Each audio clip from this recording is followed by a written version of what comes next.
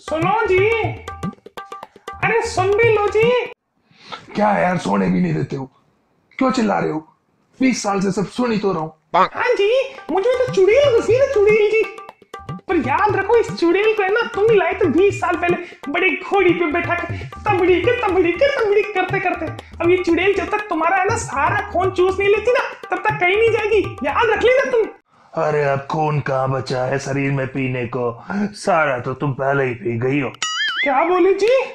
मैं एक सच बात सुनू तुम लग तो पूरी की पूरी चुड़ैल रही हो सही oh, में अब है ना तू ज़्यादा मत बोल वरना तेरी लाइफ में जो जितनी भी गर्लफ्रेंड है ना उन सारी चुड़ैलों को मैं ना इस बेलन से मार मार के मार मार के मार मार के तेरी लाइफ से ही निकाल दूँगी।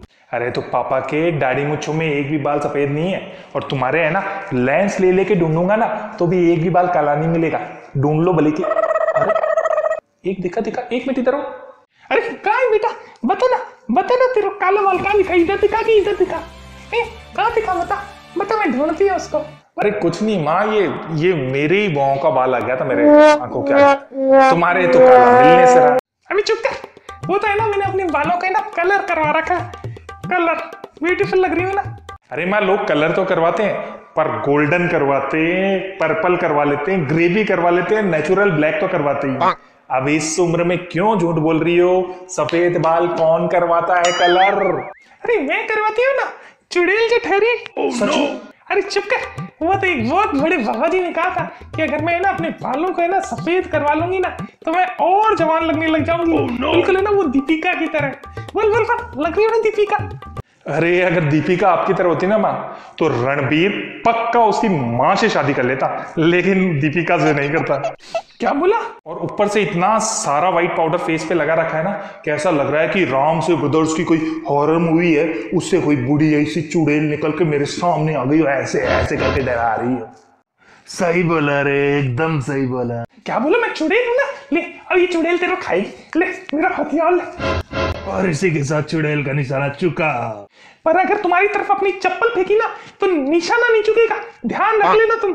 अरे तो फेंको ना। मैंने तो पहले ही एक गार्ड लगा रखा है। टिंग टॉन्ग टिंग टॉन्ग अगर सही जगह पे सही गार्ड यूज़ करना तुमको आता ना तो ये नालायक बेटा है ना ये कभी पैदा ही नहीं होता। अरे यार ये आप दोनों की लड़ाई में मैं कहाँ से आ गया?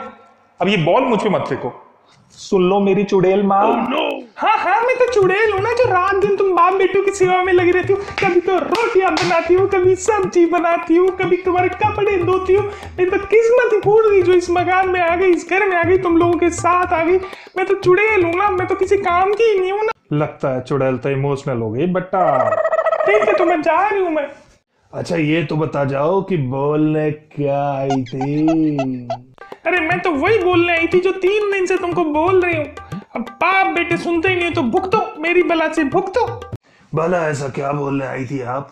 तो सुनो जी घर में है ना आटा नहीं है तेल नहीं है चावल नहीं है सब्ज़ी नहीं है मसाले नहीं है दालें नहीं है कुछ भी नहीं है। इन शॉर्ट में बोलो ना तो अब से तुम दोनों भूखे मरोगे भूखे भूखे भूखे भूखे भूखे भूखे भूखे भूखे। क्या? और तुम? है ना मेरा तो उपवास है जी आज उपवास तो ज़्यादा तो खा नहीं सकती वो थोड़ा बहुत मैंने इंतज़ाम कर लिया है। खिचड़ी मैंने खा ली है सवा मैंने बना लिया है खीर मैंने पी ली है केले पड़े हैं एप्पल पड़ा है मूंगफली तैयार कर लिए मावा पड़ा है और हाँ वो कहना भूल गई पाँच गिलास मैंने ना दही जमाया था जिसमें से तीन गिलास तो मैंने घोट के लस्सी बना के पी गई और दो गिलास बचा है जो थोड़ी देर बाद पीऊँगी। ज़्यादा तो खा पी नहीं सकते ना अभी उपवास है मेरा। वाह भाई वाह उपवास में कितना कम खाती हो ना तुम पतली नहीं हो जाओगी? हाँ हाँ वो आजकल क्या है डाइटिंग कर रही हो ना डाइटिंग। तो डाइटिंग में थोड़ा ध्यान रखना पड़ता है ना। पर खबरदार जो तुमने मेरी किसी चीज़ पे हाथ लगाया है तो?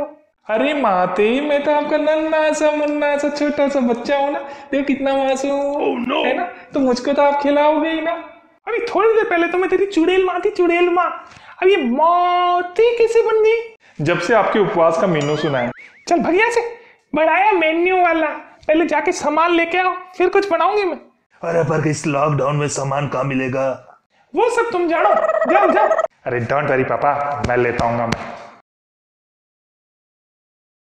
लो मम्मी आ गया आपका सामान। आटा दाल चावल आलू प्याज सब ले आए हो। एक बार चेक कर लो। आ जाओ। अरे वाह शाबाश बेटा शाबाश तो, तो सब ले आया लगता है। अरे पर लाया कहाँ से? अरे कुछ नहीं जो कोरोना वायरस वाले हेल्पलाइन के नंबर थे उस पर लगा दिया फ़ोन और थोड़ा सा झूठा दुखड़ा रो दिया कि भाई हमारे यहाँ अन्न का एक दाना नहीं है पानी नहीं है राशन नहीं है। तीन दिन से हम लोग भूखे बैठे हैं कोई मदद कर दो। तो ऐसा कहना था तीस मिनट के अंदर अंदर सरकारी गाड़ी आई।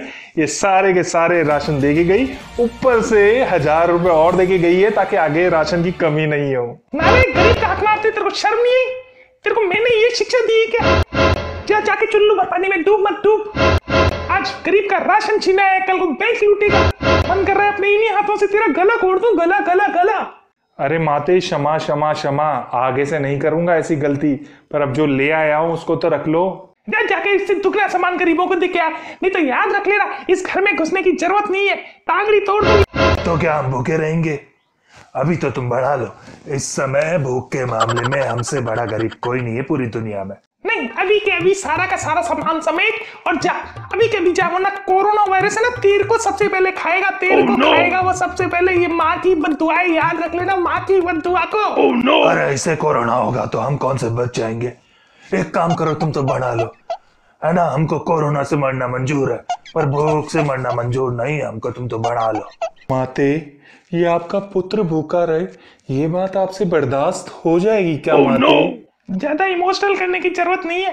माँ की आज्ञा का पालन करेगा ना तो सब कुछ मिलेगा। खाना मिलेगा। हाँ हाँ मिलेगा मिलेगा। तुम लोगों के भरोसे थोड़ी ना बैठी रहती मैं। और कल ही मैंने किराने वाले को फ़ोन कर दिया था। लॉकडाउन में भी उसकी होम डिलीवरी चालू है। और सरकार ने ये जनता की सुविधा के लिए कर रखा है। तो कल ही सामान दे गया था।